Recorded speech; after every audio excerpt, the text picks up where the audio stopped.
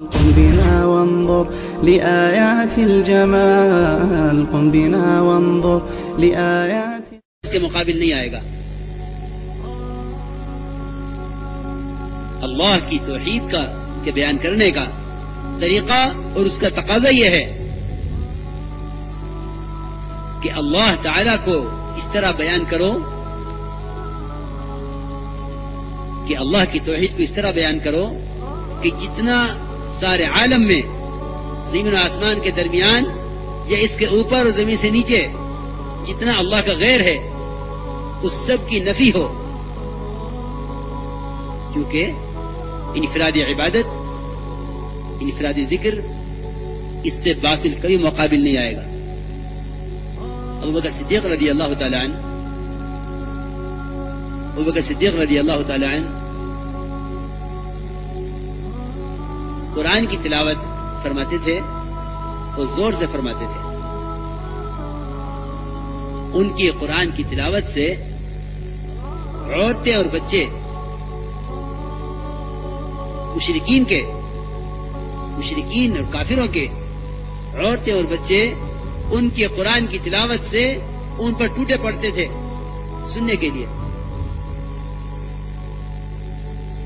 کافروں کو خطرہ تھا کہ کہیں اس سے ہمارے بچے اسلام میں داخل نہ ہو جائیں اور ہماری عورتیں اسلام قبول نہ کر لیں۔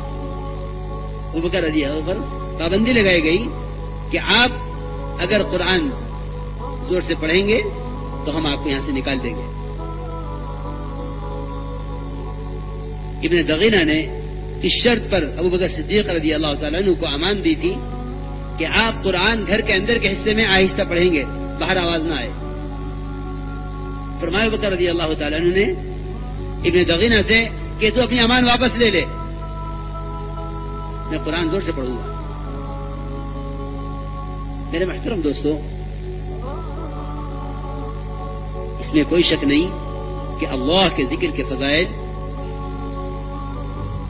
اور اس سے دلوں کے زم اور دلوں کی گندگی کا صاف ہونا ثابت ہے، یقینی ہے۔ لیکن ایک اللہ کا ذکر ہے ایک اللہ کے تذکرے ہیں۔ میں بہت ہی دل چاہتا ہے کہ آپ سے کھل کے بات کروں۔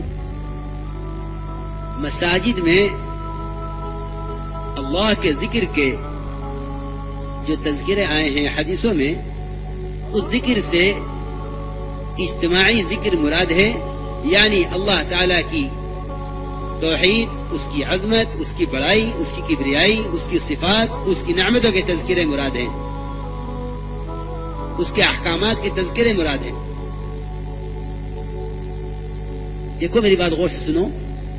میں دو چیزیں عرض کر رہا ہوں۔ ایک انفرادی ذکر، ایک اجتماعی ذکر۔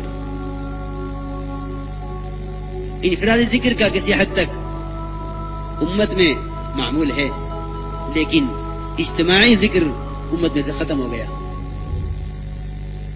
میری بات بہت ہی دھیان کے ساتھ سنو۔ وہ اجتماعی ذکر کیا ہے؟ وہ اجتماعی ذکر مسجدوں میں ایمان کے حلقے قائم کر کے ان میں ایمان والوں کو جوڑنا اور یہاں اللہ کی قدرت، اس کی عظمت، اس کی بڑائی کے تذکرے کرنا، یہ صحابہ کرام کا اجتماعی ذکر ہے۔ آپ نے بارہ روایت پڑھی ہوگی اور سنی ہوگی کہ معاویہ رضی اللہ تعالی مسجد میں داخل ہوئے۔ کچھ لوگ بیٹھے ہوئے تھے۔ معاویہ نے آ کر پوچھا کہ کیا کر رہے ہو؟ ان لوگوں نے کہا کہ ہم اللہ کے تذکرے کر رہے ہیں۔ یہاں تذکرے مراد ہیں، میری آگے بات جائے گی تو سمجھ میں آ جائے گی۔ کہ ہم اللہ کے تذکرے کر رہے ہیں۔ فرمایا، قسم کھا کے فرما، بتلاؤ۔ میں قسم کھا کر کہہ رہے ہیں کہ ہم اللہ کے تذکرے کر رہے ہیں۔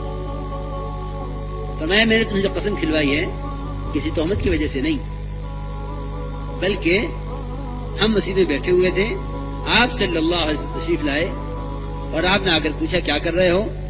ہم نے کہا کہ ہم اللہ کے تذکرے کر رہے ہیں۔ اس بات پر کہ اللہ تعالی نے ہمیں اسلام کی ہدایت عطا فرمائی۔ اب آپ روایت غور سے پڑھنا تو معلوم ہو جائے گا۔ ہم اس پر اللہ کے تذکرہ کر رہے ہیں کہ اللہ نے ہمیں اسلام کی ہدایت عطا فرمائی۔ ہم پر احسان کیا ہمیں اسلام کی ہدایت دے کر۔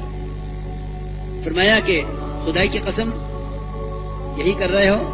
ہم نے کہا خدائی کی قسم یہی کر رہے ہیں۔ آپ نے فرمایا کہ میں نے تم جو قسم کھلوائی ہے، تم پر کسی تہمت کی وجہ سے نہیں، بلکہ جبرائیل نے مجھے آ کر یہ خبر دی ہے کہ اللہ رب العزت تمہارے اس عمل پر اپنے فرشتوں کے سامنے